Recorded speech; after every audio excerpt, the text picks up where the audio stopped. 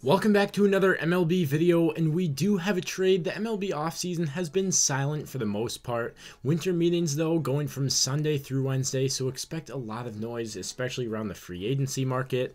But we do have a trade between the Seattle Mariners and the Milwaukee Brewers, as the Mariners will be sending Jesse Winker and Abraham Toro to Milwaukee in exchange for Kolten Wong, second baseman Kolten Wong. So I'm going to be talking about both sides of this trade. First of all, the Brewers, they're going to be getting Abraham Toro, who could be a solid player. The Brewers, they always know how to get the most out of their players, too. You saw with Willie Adames on the position player front, and we already know what they can do with their pitchers.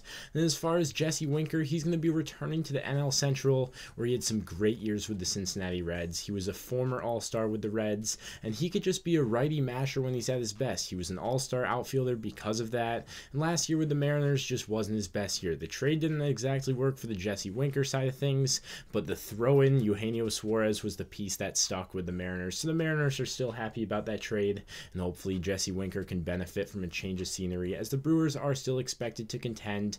Guys like Corbin Burnes, Willie Adames, and Brandon Woodruff are expected to remain going into the season. If there's going to be any trade with them, then it would be at the trade deadline. That's what Ken Rosenthal has been reporting recently.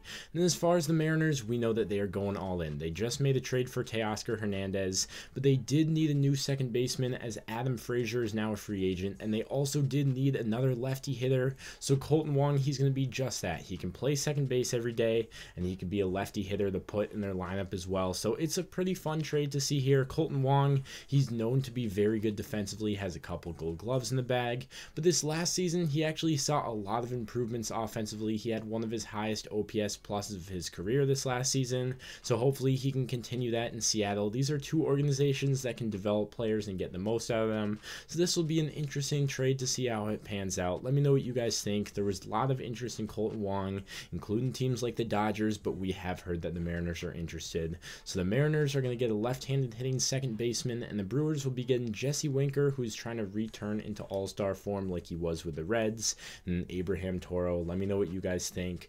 Both these teams should be active for some more moves this offseason.